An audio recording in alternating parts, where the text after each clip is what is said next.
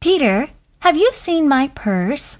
No, Mom, I haven't seen it. That's strange. Hmm, it should be on the desk. Mom, did you try the basket on your bicycle? Not yet. Let me see.